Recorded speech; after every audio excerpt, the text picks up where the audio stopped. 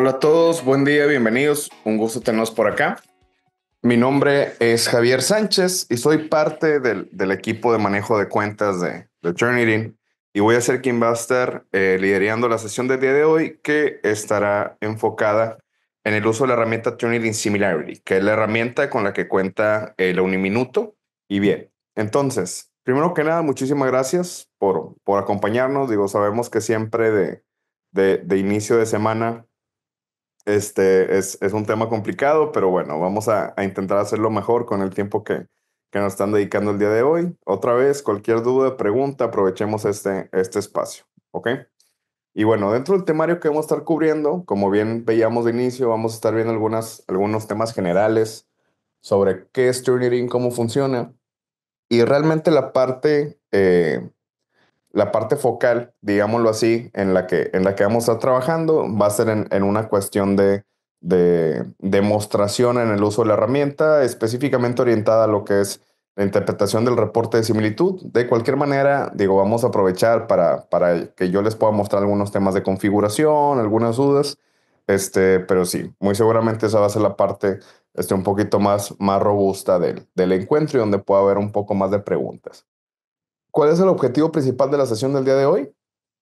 Pues bueno, formarlos como usuarios en el uso de la solución. En, este caso, para los que lo conocen, pues esto va a ser de gran beneficio porque eh, va a haber cosas que muy seguramente no hemos visto. Sin embargo, para todos aquellos que va a ser la primera vez que tienen contacto con la herramienta, pues evidentemente esto va a ser de, de todavía más valor. Ok, así que este es el objetivo principal que estamos, que estamos por ahí persiguiendo. Y el segundo objetivo que tenemos es conocer la herramienta. Eh, y aquí digo, una pequeña modificación, es no solamente la versión nativa, o sea, la versión web, a la que muy seguramente eh, algunos de ustedes han accedido a través del, del URL uniminuto.training.com, sino que también vamos a estar viendo el funcionamiento a través de la ola virtual, este, que en este caso es, es Moodle, ¿sí? Eh, realmente tenemos diferentes flujos de trabajo, así que en la medida que conozcamos los diferentes flujos, este, pues va a ser, va a ser mucho más eh, práctico que podamos tener acceso a esta, a esta herramienta. Y ahora sí, hemos llegado al primer tema de la sesión del día de hoy, ¿sí? Nuestro primer tema gira en torno a quiénes somos nosotros en Trinity, ¿ok? Pues bueno, nosotros somos una empresa que tiene más de 20 años en el mercado y desde el día uno hemos tenido como misión el apoyarlos a ustedes como educadores e instituciones educativas en lo que es la promoción de la integridad académica. ¿Por qué? Porque nosotros creemos que no es posible alcanzar la excelencia académica, que sabemos que es la máxima de, cualquier casa de estudios, si no se tiene el, el, tema de la integridad instaurada pues a nivel cultural, digámoslo así, ¿ok? Así que nosotros esperamos que mediante el uso de nuestras soluciones y de la información que nuestras soluciones ponen a disposición, pues se pueda eh, promover este, este tema a lo interno. ¿Ok? Ahora, ¿cómo funciona específicamente la herramienta de Turnitin Similarity, que es la herramienta que ustedes tienen en la, institución? Pues bueno, aquí lo voy a explicar eh, de forma muy general, ¿sí? Digo, porque ahorita lo vamos a ver ya, ya en vivo paso por paso, pero aquí lo que va a suceder es que nosotros como profesores vamos a poder llevar a cabo la revisión de documentos. Como les decía, esto lo podemos hacer en diferentes flujos de trabajo. Y lo que va a suceder es que una vez que nosotros recibamos los documentos, el contenido de los textos va a empezar eh, a ser leído por Turnitin, eh, línea por línea, párrafo por párrafo. Y lo que está haciendo la herramienta es que va a comparar ese contenido que tenemos en el texto contra contenido que nosotros tenemos indexado en nuestras bases de datos de Turnitin, en nuestros repositorios, ¿sí? Y en base a esa comparación que va a estar haciendo la herramienta es que vamos a tener acceso al famoso reporte de similitud con el porcentaje de similitud, ¿ok? Así que para que tengan ustedes una idea de contra lo que estamos comparando ese contenido del documento, pues bueno, nosotros en Turnitin tenemos una base de datos enorme que se divide específicamente en tres categorías. La categoría de páginas web, la categoría de artículos indexados y la categoría de trabajos de estudiantes. En la categoría de páginas web, estamos hablando, y lo tenemos aquí a la izquierda, estamos hablando de más de 477 mil millones de páginas de Internet, eh, que ojo, no solamente son páginas que están activas, sino que también tenemos páginas que puede que ya no estén disponibles en la web, pero si nosotros las tenemos indexadas, aún nos sirve para temas de cotejo de similitud. Tenemos, digo, básicamente páginas desde el 98, así que realmente eh, es un número impresionante de información. La segunda categoría que tenemos son más de 190 millones de artículos científicos. Y en estos artículos nosotros estamos hablando este, específicamente de algunas bases de datos académicas, que estoy seguro muchos de ustedes conocen, eh, como lo es el Sevier, Crossref, Redalic, este, entre algunas otras, ¿no? Así que también tenemos la posibilidad de estar comparando la información contra fuentes, digámoslo así, mucho más formales de las que, de las que sabemos son de uso común, ¿ok? Y por último, tenemos la parte de trabajos de estudiantes. Esta categoría de trabajos de estudiantes se conforma por más de 1.900 millones de documentos que han sido indexados de forma voluntaria por instituciones académicas como ustedes, ¿sí? En este caso particular, y no se preocupen, lo vamos a ver en la reunión, ustedes como profesores tienen la posibilidad de decidir si consideran que uno o varios documentos deberían de ser indexados en nuestros repositorios a nombre de la Uniminuto. ¿Esto por qué? Porque el día de mañana esto permitiría que si alguien quiere hacer una reproducción parcial o total de un documento y se hace una revisión de similitud, pues vamos a tener la posibilidad este, justamente de, encontrar esas coincidencias, ¿no? Así que gracias a que ha habido muchos profesores que han tomado esa decisión, pues es que el día de hoy tenemos este número tan elevado de, de documentos indexados en esa categoría particular. Y en conjunto, todas estas bases de datos que les acabo de mostrar son lo que me van a dar como resultado el famoso reporte de similitud sobre el que vamos a, estar trabajando. ¿Ok? Así que en lo general, así es como funciona la solución, que como quiero ahorita va a ser mucho más sencillo verlo, verlo por ahí en vivo. ¿Ok? Y antes de que pasemos nada más al, al último tema, previo a la demostración, les quiero hablar de esto que tenemos en pantalla. ¿Sí? ¿Por qué? Porque muchas veces eh, la, se piensa en general que Turnitin solamente hace detección de similitud de textos, ¿sí?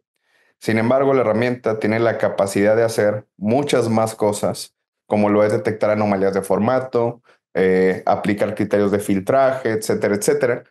Y, y, una de esas cosas que también podemos hacer y a las que recientemente la, la Uniminuto obtuvo acceso es justamente la detección de escritura generada con inteligencia artificial, ¿ok? Esta función, digo, ahorita se las voy a platicar en lo general, pero también lo vamos a ver en la demostración. Básicamente lo que nos permite es identificar dentro del texto qué porciones o qué secciones fueron eh, generadas por uno de estos sistemas de, de, inteligencia artificial y qué secciones del documento se puede interpretar que fueron escritas por, por un ser humano tal cual. ¿ok? En el pasado, esta función estaba disponible solamente para documentos en inglés. Sin embargo, ya hace algunos meses ya eh, fue liberada la función de, de, para esta detección en español, ¿ok? Así que, pues bueno, aquí tenemos la posibilidad de no solamente conocer el porcentaje general de similitud que tenemos en un texto, sino también conocer en qué medida partes de ese, de ese texto o, o secciones de ese texto fueron generadas por uno de estos sistemas como ChatGPT, que sabemos que, que pues es tecnología que, que ya está presente prácticamente en el día a día de muchísimas personas y es un, pues una tecnología eh, pues generativa que, que ha traído diferentes, digámoslo así, retos al, al, panorama académico, ¿no? Así que, pues importante que esto también vamos a poder eh, verlo dentro de, de, lo que es el reporte de similitud estándar de, de Trinity. ¿Ok? Y bien, antes de pasar a la demostración, y es donde muy seguramente eh, les van a hacer sentido algunas de las cosas que, que les estaba platicando, digo, va a ser mucho más sencillo comprenderlo. Antes de pasar a ello, es muy importante que toquemos estos dos conceptos que están apareciendo en pantalla. ¿Por qué?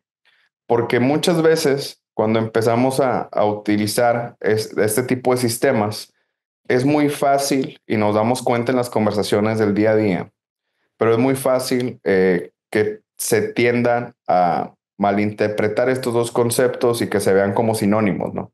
Así que de lo que tenemos que partir siempre cuando estemos hablando de estas soluciones es que Trinity no está detectando plagio, sino que está detectando similitud. ¿Y esto qué significa? Que lo único que está haciendo la solución es decirme qué secciones del documento están arrojando coincidencia contra contenido que se tiene indexado en base de datos. La herramienta no está diciendo si está bien o mal, la herramienta no está diciendo si el estudiante o el autor está cometiendo o no plagio académico. Lo único que está haciendo la herramienta es que nos está diciendo, ¿sabes qué? Estamos encontrando estas coincidencias y ya a partir de ahí, yo como profesor, pues debo hacer mi análisis para, para determinar si esas coincidencias son o no son significativas, ¿sí? ¿Y por qué? Porque puede ser que el día de mañana ustedes reciban un documento y en el documento vean que tenemos tal vez un 40% de similitud y al momento que entramos a revisar el documento, que, que entramos a analizarlo, nos damos cuenta que ese 40% de similitud viene de fuentes externas, viene eh, en el sentido de que es contenido parafraseado, eh, a lo mejor son citas textuales o inclusive tal vez la bibliografía nos está arrojando alguna similitud de texto. Bueno, ese es el análisis que justamente tenemos que hacer nosotros para determinar si esas coincidencias son o no son significativas. Porque otra vez, si la herramienta está encontrando coincidencias textuales, la herramienta las va a marcar independientemente de qué son. ¿Ok? Ahora, ¿en qué se diferencia esto del plagio? Bueno, que cuando estamos hablando de plagio académico, pues nos estamos remitiendo a la, a la definición del libro, que es la práctica de tomar las ideas o trabajo de alguien más y mostrarlas como propias. ¿Ok? ¿Esto qué quiere decir? Que sabes que alguien está actuando de forma intencional, alguien está actuando de forma dolosa y no está dando crédito al autor de, de cierta información, de cierto documento. Sí, son escenarios completamente diferentes. ¿Ok? Así que es bien importante que estemos claros en este tema particular. Muy bien, entonces vamos a la parte de la demostración. Muy bien, como comentamos ahorita, eh, vamos a estar básicamente explorando dos flujos de trabajo. El primer flujo que vamos a estar explorando es el ambiente web y de ahí nos vamos a mover a lo que sería el ambiente en el aula virtual. ¿Ok? Entonces, eh, ¿qué determina qué ambiente de trabajo debería yo de estar usando? La realidad es que va a depender de las necesidades que yo tenga análisis de documentos. Ahorita lo primero que les voy a mostrar, que es este ambiente web o ambiente nativo, como le llamamos, eh, básicamente sería un escenario en el que yo como profesor necesito tener un espacio de revisión de documentos, tal vez por fuera del aula virtual, porque a lo mejor son documentos que no pasan por ese flujo de trabajo y aún así yo requiero tener un informe de similitud de esos textos pues bueno, yo estaría buscando eh, tener acceso a este ambiente de trabajo. ¿ok? En el caso de ustedes, la página para poder acceder a este ambiente es la página de uniminuto.turnitin.com y aquí es donde ustedes estarían ingresando. ¿Ok? Nada más un tema importante. Si ustedes quisieran acceder a esta versión de la herramienta, sí o sí deben de ser registrados por uno de los administradores para que les llegue un correo de activación y puedan generar un nombre de usuario y puedan generar una contraseña, ¿ok? En esta página no sirven la, o sea, tal cual los usuarios que ustedes tienen de la universidad no sirven aquí, o sea, tienen que crear eh, un usuario, de aunque sea el mismo y la misma contraseña, pero tienen que hacer el proceso de activación. Y una vez que hayan pasado por este tema, ahora sí, mis credenciales. Y ahí estamos. Una vez que entremos, déjenme usar un poquito más grande, vamos a estar viendo algo como esto en la pantalla. ¿Ok? ¿Qué es lo que tenemos? Básicamente tenemos una interfaz, digámosle, de bienvenida. Y en esta interfaz vamos a tener estas tres ventanas principales. ¿sí? Cada ventana tiene un propósito particular. Eh, aquí, digo, del lado derecho, está, por ejemplo, la, parte de eh, consultar guías, que la parte de consultar guías, como su nombre lo sugiere, sería una opción para poder llegar a ver guías de uso de la herramienta. Tenemos la parte de dar retroalimentación, donde siempre estamos abiertos a escuchar sus comentarios. estos comentarios le llegan eh, a nuestro equipo de producto, así que si tienen alguna sugerencia, alguna mejora para la herramienta, pueden mandarla por aquí. Y por último, tenemos la parte más importante que es la ventana donde tenemos el botón de iniciar, ¿sí? Este botón de iniciar, justamente si yo hago clic, es lo que me va a llevar al apartado donde voy a poder revisar ahora sí los documentos. Aquí es donde se hace la carga de los textos, donde se pueden ver los reportes de similitud, las carpetas, etcétera, etcétera. ¿Ok? Así que de nuevo, lo importante es poder acceder a esta herramienta y una vez que estemos aquí, simplemente hacemos clic en iniciar y llegamos a esta ventana que es donde estaríamos revisando los textos. ¿Ok?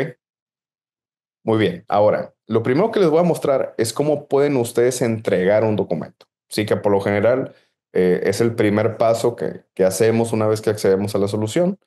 Y esto realmente es muy, muy sencillo. ¿sí? Una vez que estamos en esta pantalla, que aquí evidentemente yo tengo muchas cosas, ustedes no van a tener tantas. Bueno, más bien no tendrían nada porque sería la primera vez que estarían ingresando. Pero una vez que estamos en esta pantalla, lo único que voy a tener que hacer es hacer clic aquí en este botón que dice cargar. Y aquí me va a llevar a una pantalla donde voy a poder arrastrar y soltar un documento, seleccionarlos de mi computadora e igualmente voy a poder consultar los requisitos de los archivos. ¿sí? Eh, estos requisitos también aplicarían si estamos utilizando la herramienta, por ejemplo, eh, a través del aula virtual, digo, para que lo tomen en cuenta. Eh, pero por lo general, realmente los requerimientos son, son muy holgados, son muy flexibles. Oye, que la carga no supere los 200 megas, que cada archivo tenga al mínimo 20 palabras, la longitud máxima 800 páginas, que realmente es, es raro que se rebase esa longitud. pero si lo tenemos, pues bueno, este, tenemos que buscar formas de cargarlo tal vez en partes el documento. Y tenemos también, por ejemplo, la parte de los formatos compatibles, que por ejemplo pueden ver aquí. Realmente soportamos eh, los formatos de uso, de uso más común, como por ejemplo Word, Excel, PowerPoint, PDF, y algunos otros que a lo mejor no son tan comunes, pero sabemos que aún así se, se utilizan. ¿Ok? Entonces, aquí yo lo que voy a hacer es que voy a buscar un documento en mi computadora para subirlo. Aquí, por ejemplo, tal vez el documento es un borrador de tesis. Y aquí voy a poner mis datos, ¿sí? Javier Sánchez. O bueno, que en este caso serían los nombres del autor. Si, mi, si este documento no lo hubiera escrito yo, a lo mejor lo escribió un estudiante, voy a ingresar el nombre del estudiante, que a lo mejor es Juan Garza, ¿no? Y luego la herramienta me va a hacer una pregunta bien, bien importante. Oye, Javier, ¿deseas indexar este documento en el depósito? ¿Esto qué quiere decir?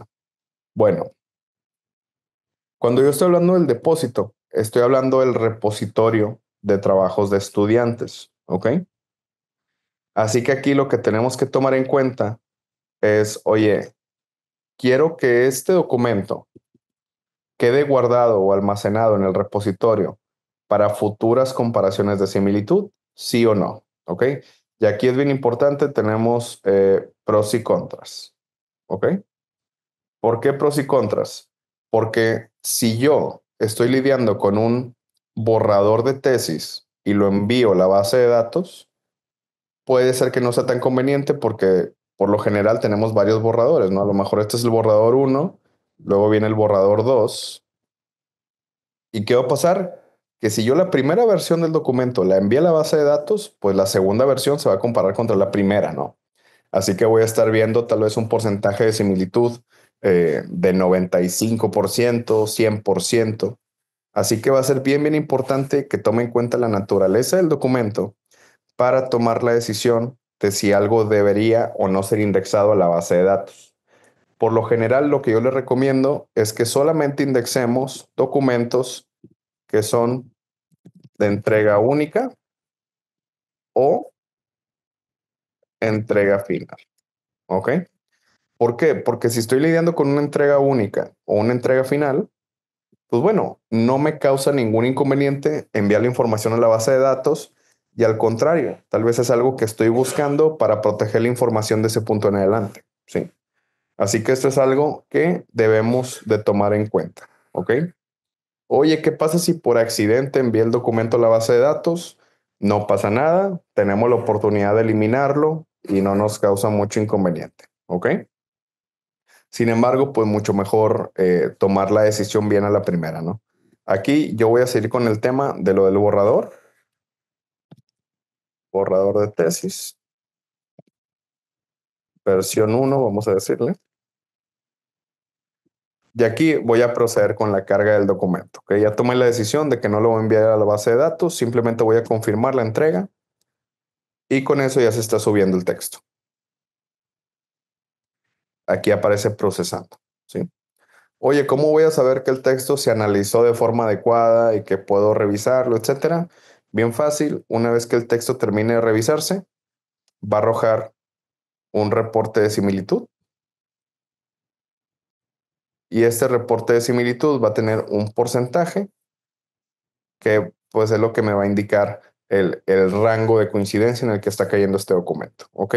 Que aquí evidentemente yo puedo abrir el reporte haciendo clic y ahí es donde ya empiezo a hacer el análisis. Pero de entrada voy a tener acceso al porcentaje general de similitud que arrojó el texto de forma inicial. ¿Ok? Así que, ¿qué es lo que voy a hacer ahorita? Lo que voy a hacer es que una vez que se genere el, el reporte de similitud, voy a ingresar al reporte. ¿Ok? Pero antes les voy a mostrar bien rápido para qué nos sirven estas carpetas que tengo por aquí. ¿Sí? Entonces, si yo estuviera lidiando con un volumen grande de, documentos o tengo varios grupos, varios estudiantes o simplemente quiero tener la información un poco más organizada, digámoslo así, una opción que yo voy a tener es que voy a poder generar carpetas para tener cierto orden dentro de mi ambiente de trabajo y también tener acceso a otros dos beneficios que vamos a tener por ahí, ¿sí? Que ahorita les voy a mostrar. Lo primero es que voy a agregar una carpeta. ¿Cómo lo voy a hacer? Bien sencillo, en la parte superior, tal cual, hay un botón que dice agregar carpeta. Voy a hacer clic y la voy a nombrar, ¿sí?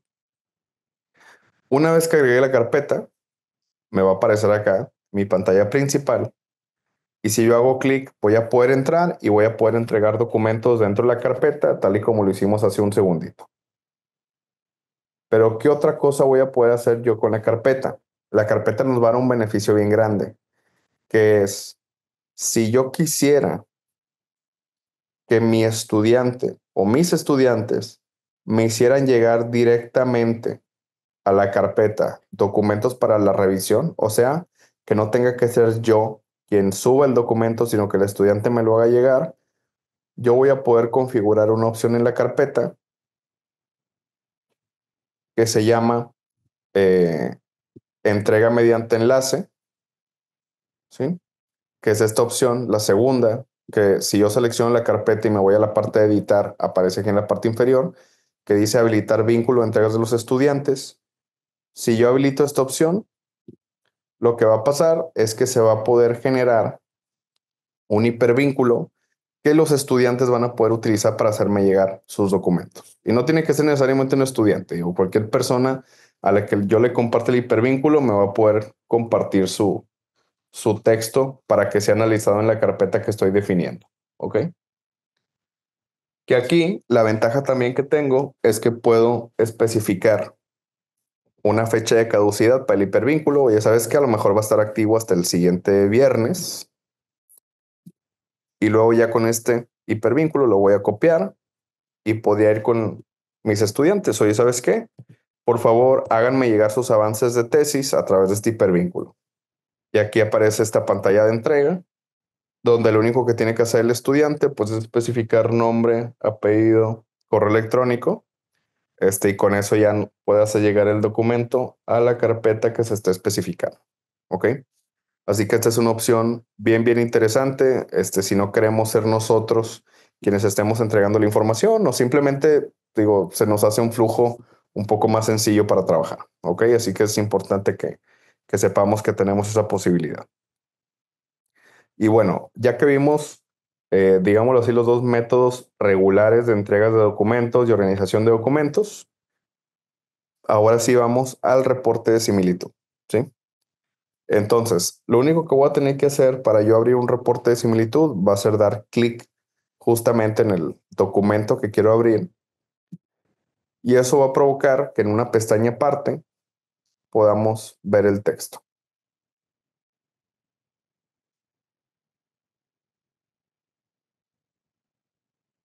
Aquí lo que sucede es que se abre el reporte de similitud en una pestaña independiente.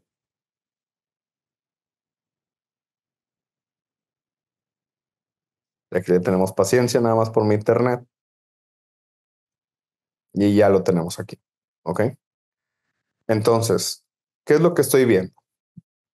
Bueno, aquí del lado izquierdo tengo el documento que se entregó y tengo resaltadas de colores las partes del texto que están arrojando coincidencia contra lo que tengo indexado en base de datos. Así que aquí yo estoy viendo todos esos colores resaltados, todas esas oraciones, esos párrafos, y eso nos está indicando justamente que ese fragmento de información está arrojando coincidencia contra algo que nosotros tenemos en el repositorio de Journey. ¿Ok? Una vez que abrimos el reporte de similitud, básicamente tenemos dos caminos para revisar la, información. El primer camino eh, es utilizar aquí la columna lateral, donde tenemos todas las fuentes de información ya ordenadas de mayor a menor. Y nosotros lo que podemos hacer es simplemente dar clic en las fuentes que son de mi interés y yo voy a poder ver la información relacionada y la herramienta me va a mostrar en qué parte del documento aparece. O podemos utilizar la otra opción que por lo general los profesores utilizan un poquito más, que es hacer clic en las coincidencias conforme les están apareciendo en el documento para poder ir viendo la información relacionada. ¿Ok? Así que tenemos esas, esas dos opciones. Digo, ambas son correctas. Aquí es más bien como quiero yo ir trabajando el documento, ir viendo las coincidencias. Entonces, ¿qué es lo que sucede al momento que yo hago clic en cualquier coincidencia o, fuente de información? Bueno, lo que hace Turnitin es que me muestra el, el nombre de la fuente. Por ejemplo, aquí aparece roderick.v.es. Me presenta un pequeño subtítulo que nos dice la base de datos a la que pertenece, en este caso la base de datos de Internet tenemos el hipervínculo que nos permitiría consultar esta fuente en su formato original, que en este caso es una página de internet, así que me estaría redirigiendo la página de internet. Y luego tenemos un fragmento o el fragmento de información de esa fuente original que justamente nos está arrojando la coincidencia. Que aquí lo que hace la herramienta es que tal cual va a la página de internet y se trae eh, ese fragmento de información y aquí me está resaltando el juego de palabras que, que nos está arrojando la, coincidencia por ahí. ¿Ok? Oye, ¿qué pasa si yo quiero profundizar un poco más en la fuente? Pues bueno, tenemos esta parte de poder consultar el hipervínculo. O tenemos también una opción que se llama ver texto completo, que si yo hago clic, toda la información de la fuente original aparece en el reporte condensada en un formato de columna por acá del lado derecho. Así que vamos a tener este, todas esas opciones para validar la información. Que aquí tenemos profesores que muchas veces con esto es, es suficiente, eh, o tenemos profesores que sí les gusta meterse un poco más a fondo, les gusta validar a lo mejor el tipo de fuente, les gusta ver si el estudiante está teniendo algún tipo de inconveniente en temas de parafraseo, etcétera, etcétera. Pero básicamente la herramienta nos da diferentes niveles de, de profundidad, digámoslo así, para visualizar la información. Ahora, ¿qué es lo que sucede si nosotros, eh, ejemplo, consideramos que este fragmento o esta fuente de información no son relevantes como para mantenerlos dentro del documento?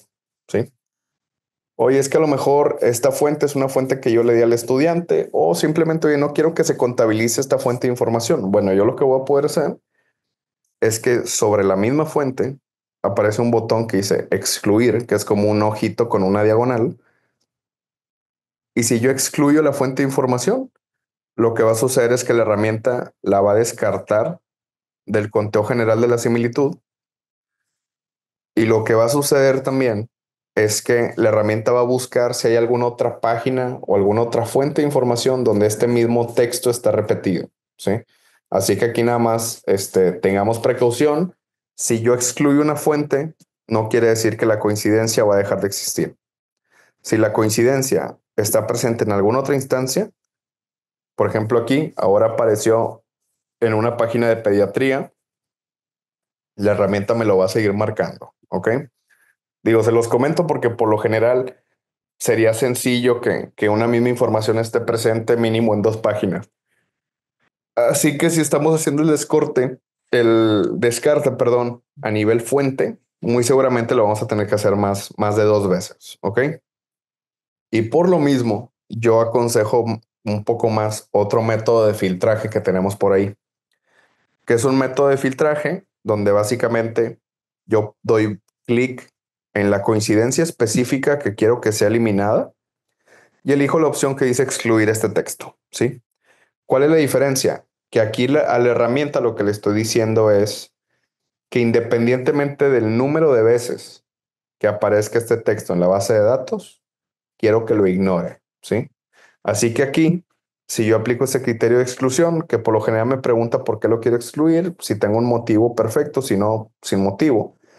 Aquí lo que va a suceder es que vean, el juego de palabras ya no está siendo tomado como coincidencia por la herramienta y ha habido una disminución de 1% en este caso en el cálculo de la similitud del documento.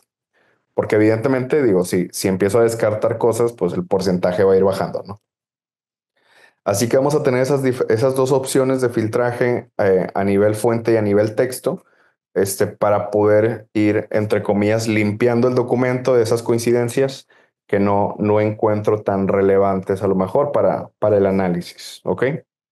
De aquí otra vez, yo puedo continuar revisando el documento y oye, ¿sabes qué? Encontré otra coincidencia que me llama la atención, voy a hacer clic, voy a ver la información relacionada, si quiero ver la fuente original lo busco, si quiero ver este, el texto completo condensado aquí en un formato de columna, lo voy a buscar también. Digo, y ahí es que podemos ir poco a poco haciendo el análisis de la información, ¿ok? Y aquí nada más antes de que se me pase, les quiero enseñar una opción bien interesante. Eh, al momento que ustedes hagan clic en cualquier fuente de información y se les despliega la columna lateral, ustedes van a ver que hay una leyenda que dice 1 de, digamos, 1 de X, ¿sí? Porque podemos tener cualquier número. Bueno, esa leyenda de 1 de X lo que nos indica es el número de veces que esta fuente está presente dentro de un texto. Oye, ¿por qué dice uno de ocho? Ah, bueno, porque esta fuente está ocho veces en el documento y ahorita estás viendo la primera vez que aparece. Pero si tú le das aquí con las flechitas a la derecha, por ejemplo, tú vas a ver las otras instancias del documento donde aparece la fuente. ¿Ok? Que a lo mejor ahorita no se ve muy relevante porque el documento que tengo es un documento muy pequeño, digo, son cuatro páginas nada más. Pero este, tenemos esta parte eh, donde si estuviéramos trabajando con un documento muy, muy grande, pues evidentemente nos va a ayudar, ¿no? Porque no tenemos que ir buscando la fuente poquito a poquito, sino que podemos eh, saltar directamente de la primera vez que aparece la fuente en, en, el documento a la segunda, tercera, cuarta, etcétera, etcétera. ¿Ok? Así que sí era importante que, que viéramos ese tema por ahí. Bien, ahora, ¿qué más voy a poder hacer al momento que estoy revisando el documento? ¿sí? Lo que voy a poder hacer, y aquí eh, seguimos trabajando en la línea de, del tema de filtrajes, aquí lo que voy a poder hacer es que tengo un botón del lado derecho que es un pequeño engrane, y ese botón, que es el engrane, nos va a dar visibilidad a diferentes opciones de filtraje que yo voy a poder utilizar dentro del documento. Esto es sumado, digámoslo así, a, la posibilidad de hacer las exclusiones manuales que les mostraba ahorita. Aquí lo que voy a tener es que puedo aplicar ciertos criterios de exclusión generales para ayudarme justamente a disminuir la similitud del documento si yo veo que son elementos que no son relevantes, ¿no? Acá, por ejemplo, lo primero que podría hacer sería decirle a la herramienta que descarte fuentes de información o bases de datos del cálculo de la similitud, que esto por lo general, digo, no lo recomendamos mucho porque lo que queremos es profundidad de análisis, pero es algo que sí podríamos hacer. Y luego tenemos las opciones que por lo general sí utilizamos cuando estamos revisando los, los reportes de similitud en todas las ocasiones. ¿Por qué? Porque aquí nosotros vamos a encontrar opción de, por ejemplo, descartar todas las coincidencias que se hayan encontrado en la bibliografía o todas las coincidencias eh, que sean producto de citas, por ejemplo, dentro del documento. ¿sí? Que otra vez, sabemos que la herramienta está pues básicamente eh, haciendo detección de similitud de textos. Así que, pues una cita, al ser un extracto textual, pues me lo va a estar tomando como, como fuente de coincidencia, ¿no? Así que, digo, es importante que podamos utilizar estos, estos filtros. Sigue que lo que voy a hacer yo aquí, yo voy a justamente aplicar estos filtros de los que, que les estaba mencionando. Oye, ¿sabes qué? No me tomes en cuenta las citas que aparecen dentro del documento y arrojan coincidencia no me tomes en cuenta tal vez el contenido de la bibliografía que me está arrojando coincidencia. Y evidentemente, conforme voy aplicando filtros, el porcentaje de similitud sigue disminuyendo, ¿no? Aquí, por ejemplo, voy a aplicar otra vez el criterio de la bibliografía y otra vez he tenido un impacto. Así que aquí, pues lo que, lo que vamos a encontrar es justamente eh, esta opción de aplicar estos criterios según, según veamos adecuados este, y una vez que aplicamos estos criterios, pues ya podemos, ya sea seguir revisando el documento y aplicar a lo mejor algunos más eh, criterios de exclusión manuales, o nos podemos quedar ya con, con este, esta similitud si, si creemos que esto es lo que debería de marcarse en el texto. ¿Ok? Déjenme ver si tenemos por ahí preguntas. Me parece que no. Y bueno, el último filtro que tenemos acá, ¿Para qué sirve? ¿Sí? Este último filtro, que se llama coincidencias menores, nos sirve cuando eh, dentro del texto estamos detectando que tenemos coincidencias que denominamos que son producto de fraseologías de uso común. ¿A qué me refiero con esto? Oye, ¿sabes qué? Eh, por ejemplo, tengo esta frase que es diccionario de la lengua española de la Real Academia bueno, esta fue, este texto o este juego de palabras muy seguramente aparece en miles de documentos que tenemos indexados. Así que, ¿qué podemos hacer? Porque evidentemente se vuelve muy complicado estar, estar dando clic y estar haciendo la exclusión manual si tenemos muchas de estas coincidencias. Por ejemplo, aquí tenemos, digo, entrada tenemos seis, ¿sí? Pero si fue un documento más grande, pues puede ser que tengamos muchos más. Así que aquí, ¿qué es lo que va a suceder? Que yo lo que voy a hacer es que le voy a decir a la herramienta en el botón de filtros, ¿sabes qué? Deseo que excluyas del cálculo de la similitud cualquier fuente de información cuya presencia en el documento sea inferior a un determinado número de palabras. Que por ejemplo aquí va a ser 25. Sí, esto digo, lo puedo poner yo a lo que, a lo que yo guste. Yo ahorita estoy utilizando 25 palabras de referencia. Sí. Así que aquí lo que le estoy diciendo a la herramienta es no me tomes en cuenta ninguna fuente de información cuya presencia en el documento sea inferior a 25 palabras. Y si yo aplico ese filtro, como ven, todas esas fuentes que tenían eh, coincidencias pequeñitas dentro del texto han dejado de estar marcadas y acá, este, pues puedo yo continuar con el análisis o puedo dejar así la, el análisis de, la similitud. Ok, aquí nada más para que tengan una referencia. Este, el, el, mínimo de palabras que se necesita para, para el filtro es de 8, pero todo lo que es sobre, sobre 8, digo, podemos poner el número que nosotros queramos. Sí, evidentemente la recomendación nada más sería eh, que haga sentido lo que estamos poniendo eh, como, como número de palabras, ¿no? Conforme a lo que estamos viendo dentro del texto. Eso sería lo único que, que vale la pena que, que cuidemos por ahí. Y bueno, ahora la pregunta del millón. ¿Por qué después de que apliqué yo estos filtros, en el que claramente estoy descartando las citas, que aquí nada más a forma de aclaración, la diferencia entre citas textuales y citas eh, a secas, digámoslo así, es que las citas textuales son las citas normales que conocemos, las citas directas, pensémoslo así, y las citas solas son las citas indirectas. Así que digo nada más para que lo tengan ahí. Pero, ¿qué sucede en este caso particular? Que a pesar de que yo aplique estas exclusiones, no, eh, no se descartó esta cita que tengo aquí dentro del documento. Bueno, esto nos va a llevar a otro botón que tenemos dentro del, reporte, que es la función de las marcas de alerta.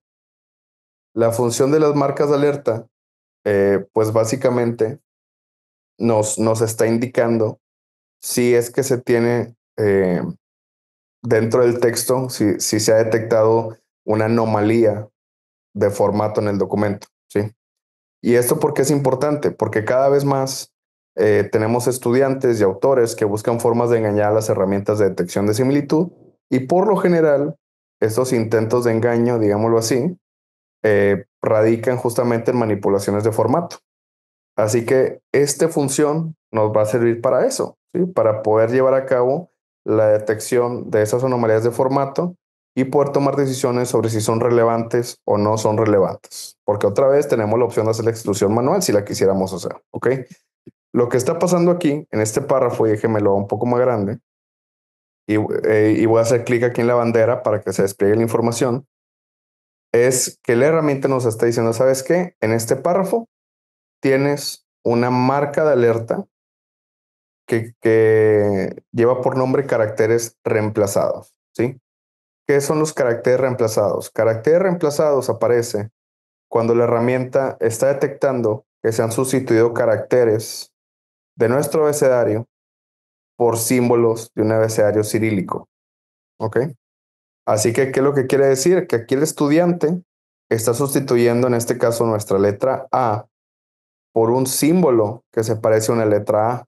Que esto evidentemente yo lo podría interpretar como que es una tentativa de engaño hacia, hacia la plataforma.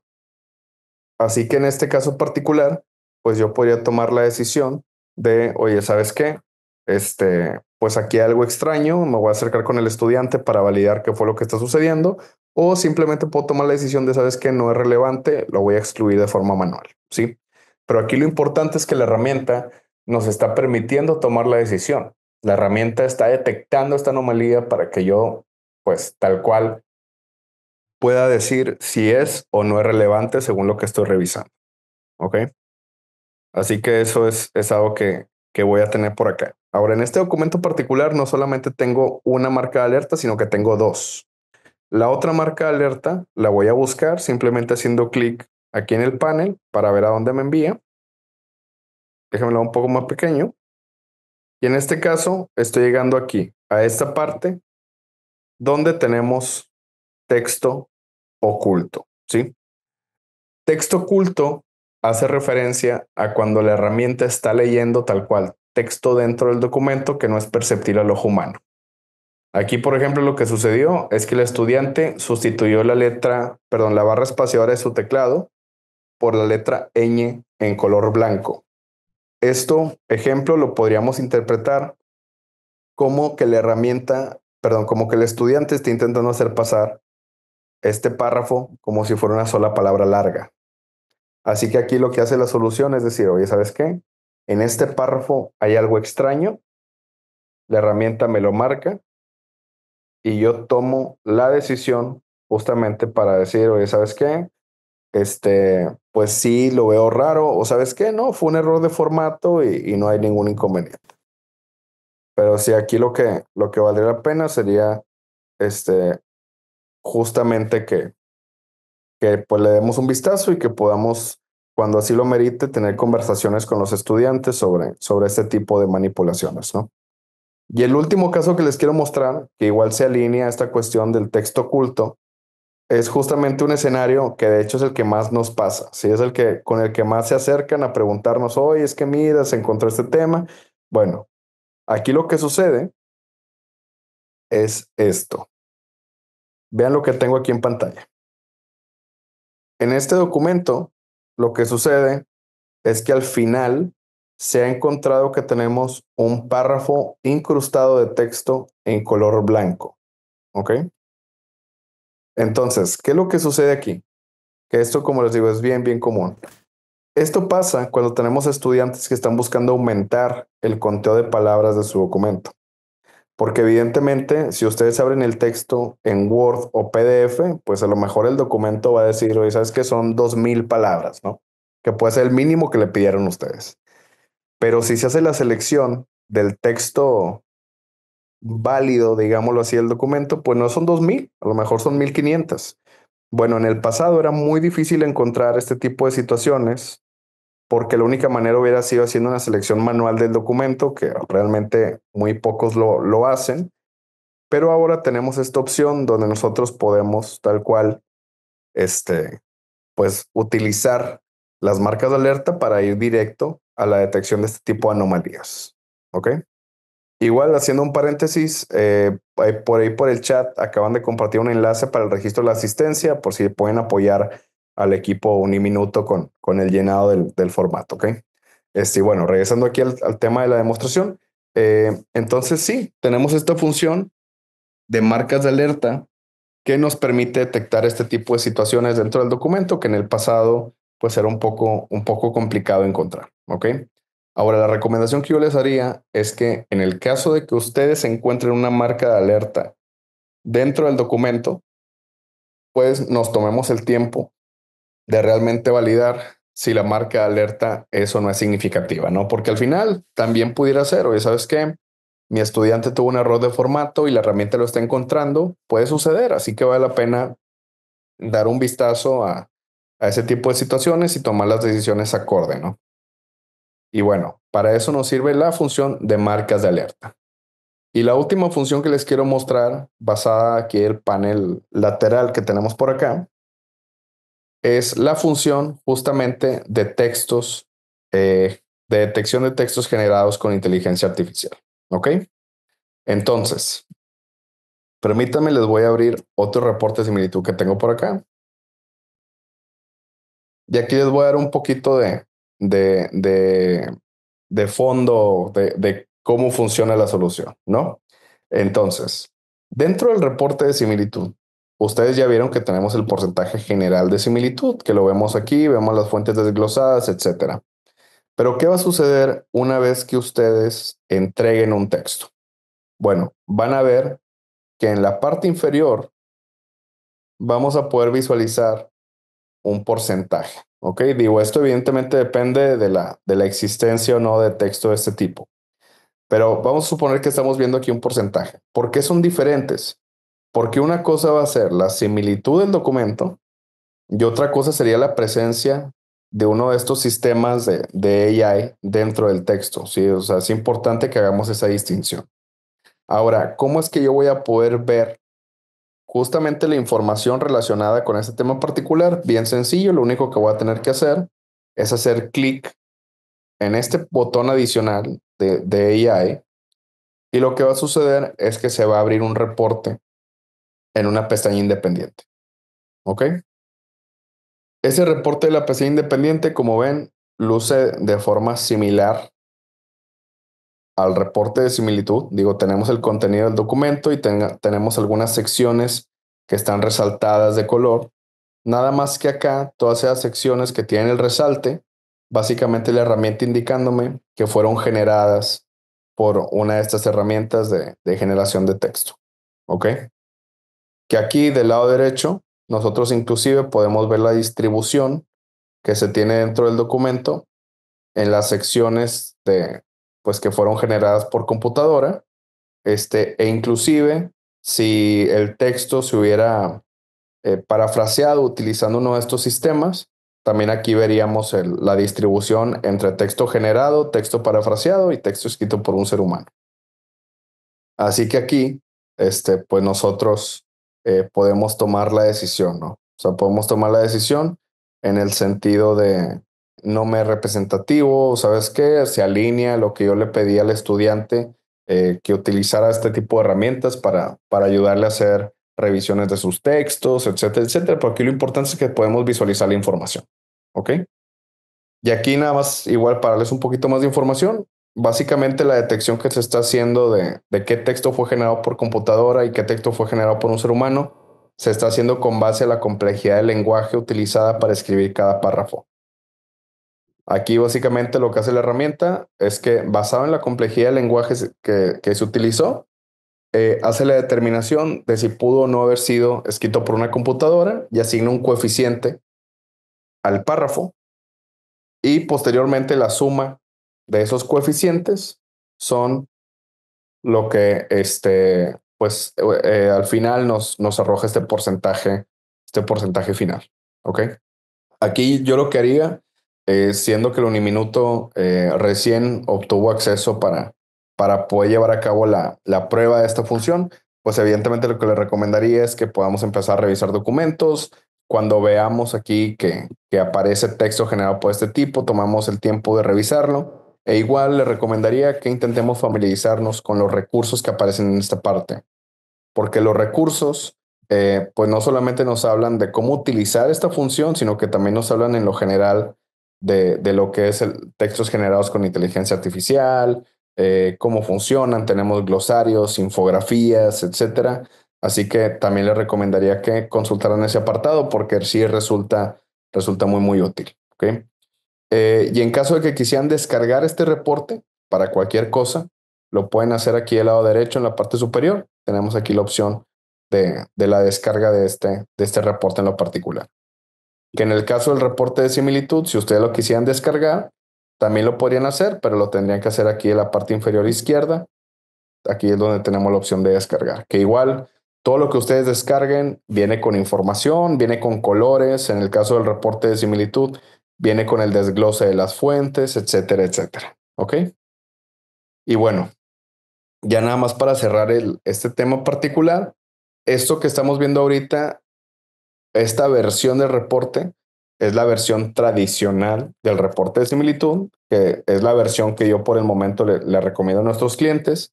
Pero si alguno de ustedes eh, tuviera la opción o quisiera cambiar a la versión nueva del reporte, lo puede hacer en la parte superior, dependiendo de la configuración.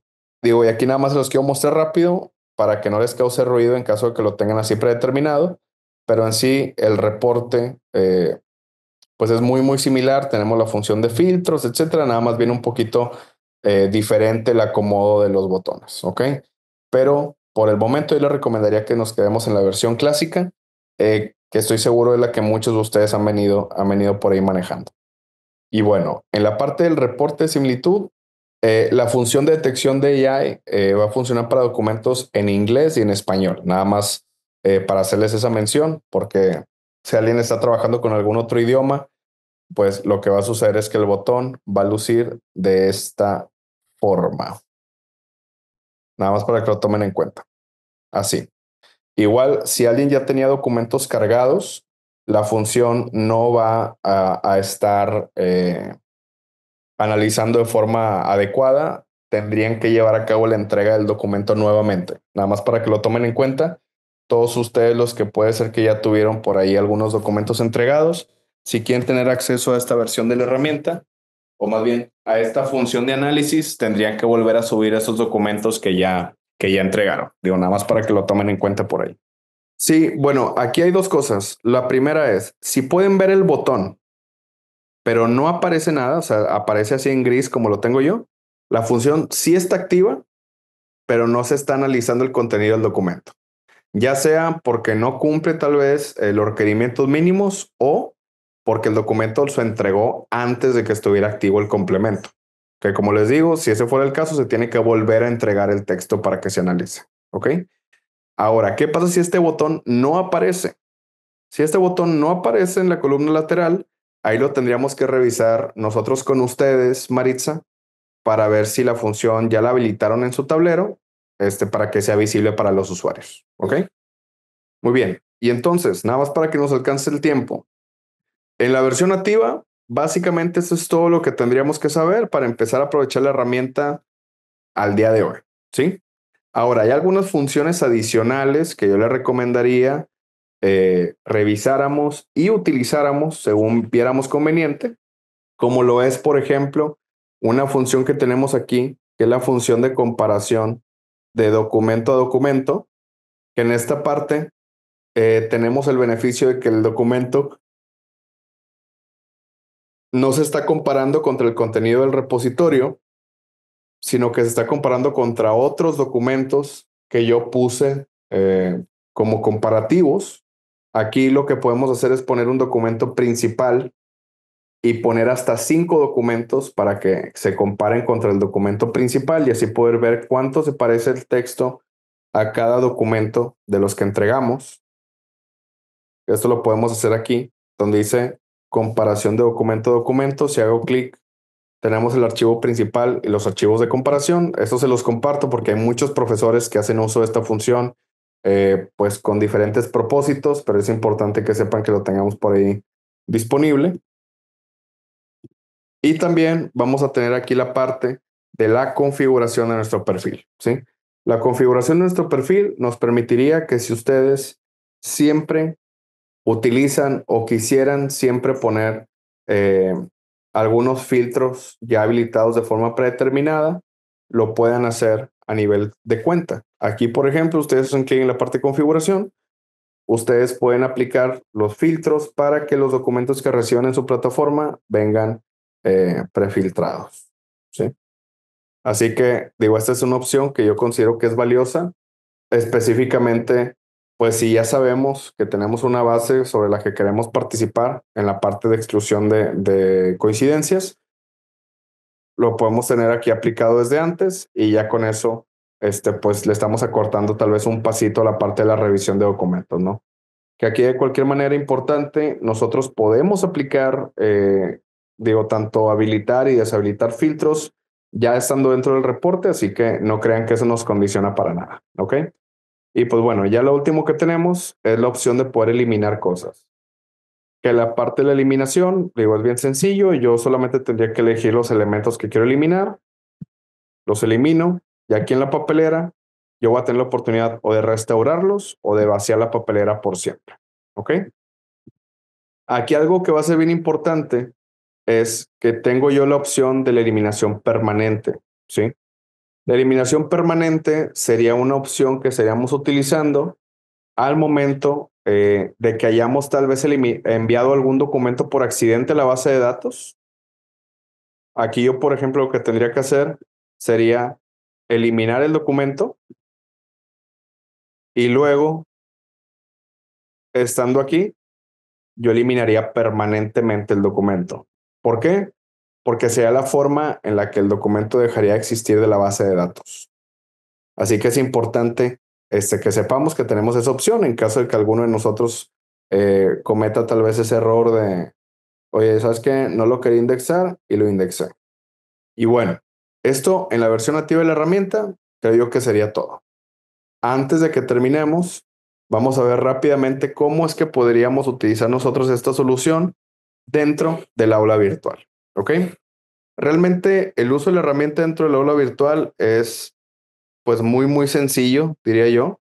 Creo yo que es, este, es un poco más complicado cuando, cuando eh, estamos usando la versión nativa, más que nada porque tenemos más, más funciones adicionales. Pero, por ejemplo, aquí, si yo quisiera empezar a utilizar la herramienta, en este caso en Moodle, por ejemplo, lo que estaríamos haciendo sería primero que nada ingresar al curso y luego nada más como comentario, eh, podemos nosotros utilizar el complemento de Turnitin dentro del aula virtual, no solamente para tareas, sino también para tareas, foros y talleres. ¿Ok? Oye, ¿qué va a suceder si yo estoy utilizando el complemento? Bueno, lo que va a pasar es que una vez que tus estudiantes te hagan llegar la información, en la bandeja de entrada, en este caso del mismo Moodle, vas a ver una barrita de color con un porcentaje. Esta barrita de color con el porcentaje es tal cual la barra de color con el porcentaje que estábamos viendo ahorita en la versión nativa, nada más que aquí funcionando dentro del ambiente de Moodle. Y aquí lo que va a suceder es que vamos a poder dar clic en esa barra con el porcentaje y vamos a poder abrir el, el reporte de similitud en una pestaña eh, adicional, tal y como lo habíamos hecho con el, el reporte de similitudes de la versión nativa.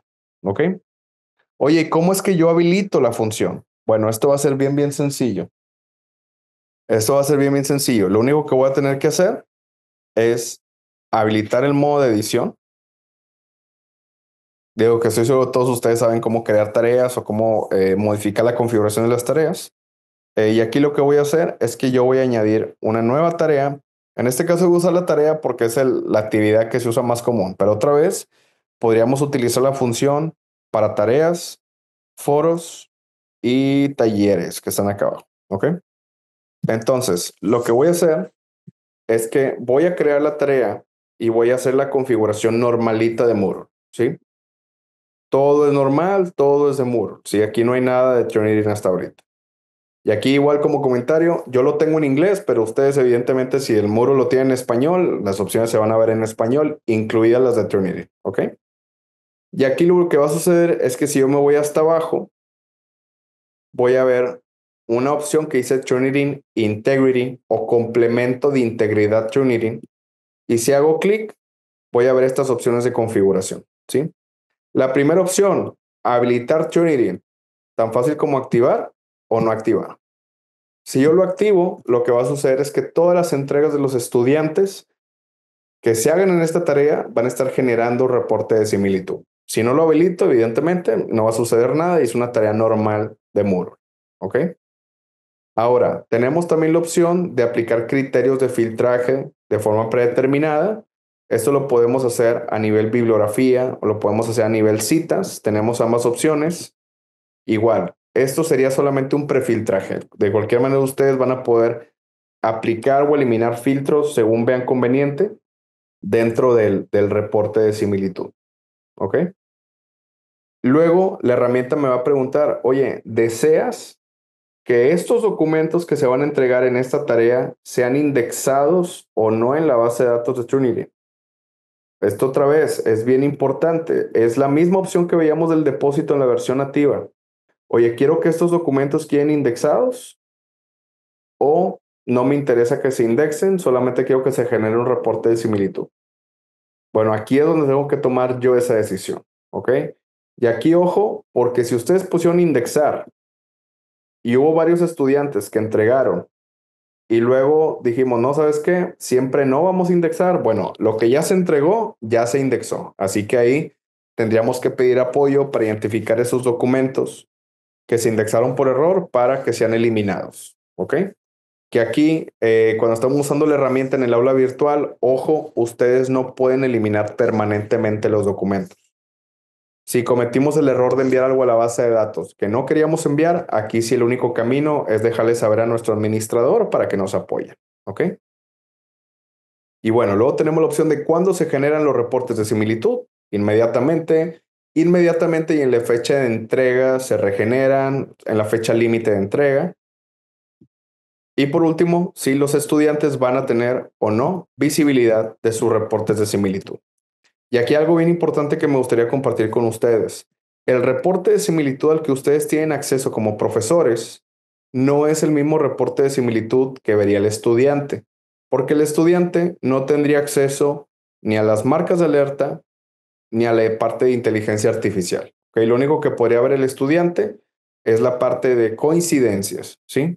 Y el estudiante inclusive puede entrar y puede aplicar filtros, puede hacer diferentes cosas, pero las únicas modificaciones del reporte de similitud que se van a guardar son las modificaciones que hacen ustedes como profesores. Digo, al final del día, ustedes son el usuario crítico, digámoslo así. Así que los únicos cambios que se guardan son los que hacen ustedes como profesores. Fuera de estas opciones, que son las de Trinity, no tienen que hacer nada más. Todo lo demás son opciones de Moodle. Aquí lo único que me quedaría sería publicar la tarea y se acabó. Las entregas de los estudiantes van a estar generando reporte de similitud. ¿Ok? Igual vale la pena comentar eh, que los dos flujos no son mutuamente excluyentes. ¿Qué quiere decir? que ustedes podrían tener acceso a la herramienta en la versión web y además podrían estar usando la herramienta dentro de Moodle sin mayor inconveniente. ¿Ok? Digo nada más para que también lo tomen en cuenta, que se tiene, que se tiene esa posibilidad. Antes de que terminemos, la parte de recursos de apoyo, ¿sí? La parte de recursos de apoyo, pues bueno, sabemos que la Uniminutos hace un esfuerzo grande, eh, no solamente por compartirles información, sino por organizar este tipo, este tipo de eventos, digámoslo así, este, para, que, para que ustedes puedan aprender más sobre, sobre las soluciones. Este, Pero acá también es importante que si alguno de ustedes quiere conocer más sobre nuestras herramientas, sobre nuestras soluciones, sobre el panorama general de la educación al día de hoy, lo puede hacer dirigiéndose a la página de Turnitin en español en la parte de recursos, ¿sí? En esta parte de recursos, nosotros vamos a encontrar, eh, pues desde artículos de interés general hasta infografías, ebooks, casos de estudio. Eh, tenemos también por ahí la parte de webinars pasados que se han grabado y todo esto es completamente gratis. ¿sí? Así que si alguno de ustedes quisiera eh, por ahí consultar la información, lo puede hacer. También todo se puede descargar, las infografías, etcétera. Todo lo pueden revisar ustedes aquí en esta parte. E inclusive tenemos esta página que se llama Turnitin Workshops, que aquí eh, de forma mensual estamos haciendo sesiones de orientación sobre nuestras herramientas. Así que aquí, este, pues nada más sería cuestión de que nos fuéramos a la página y viéramos el idioma en el que queremos ver la, la sesión. Y ya con eso nos podemos registrar y podemos ingresar. ¿Ok? Este, y bueno, digo, nada más se los quería comentar eh, en caso de que fuera de interés para, para alguno de ustedes. En caso de que alguno tuviera una pregunta específica eh, sobre la solución o algún comentario, alguna solicitud de soporte de forma posterior, con toda confianza les pido escriban por favor a jsanchez.com. Ahí estamos siempre pendientes de lo que puedan necesitar. Este, igual estamos ahí a la orden para, para cualquier eh, duda, comentario que puedan tener. Estamos por acá pendientes y estamos en la mejor de las disposiciones. Por el momento, por mi parte sería todo y hasta luego. Muchísimas gracias.